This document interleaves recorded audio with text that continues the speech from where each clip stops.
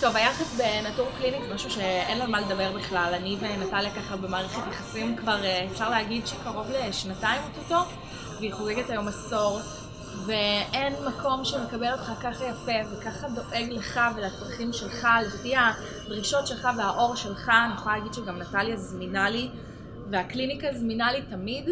שזה בעיניי הדבר הכי הכי חשוב, כי אני עם לו"ז עמוס כמו שלי, מטלפון פה, טלפון שם, ומקבלים אותי, זה יחס שאין שני לו. אה, וזהו, ולעוד עשור מדהים כמו זה, ולמלא טיפולים, ושנמשיך להיות פאביולס כולנו. טוב.